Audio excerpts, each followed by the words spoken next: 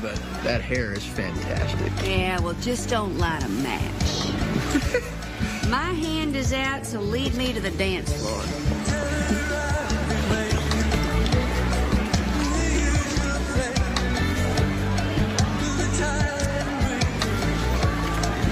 Isn't life funny sometimes? How do you mean? I always thought you and my baby girl would end up together. What? Yeah, you know, a mother knows these things. I always think it's obnoxious when women say that, but it's true. I'm, I'm not following. What's true? Marti's in love with you. Excuse me? Yeah, she has been since her sophomore or junior year in high school when she got her boobs. She told me. Marti was never in love with me. Did you ever read her diary?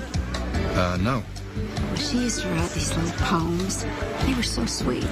Oh, Dan, the things that we do and say when we're young. I miss being your age. What else did she write? Oh, I can't tell you my daughter's secrets. They would take away my good mother card.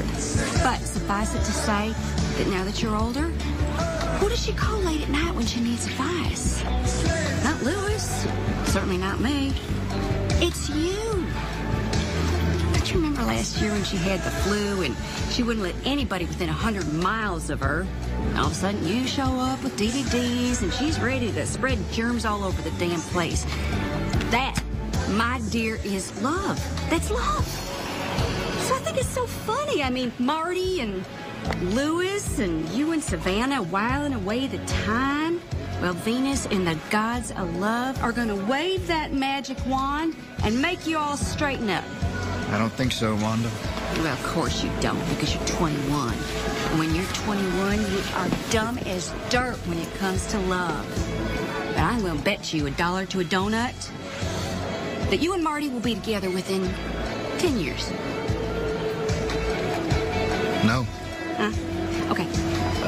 I can't give you specifics, but you have to remember that I'm a woman with inside knowledge. So you bide your time, because my daughter is worth the wait.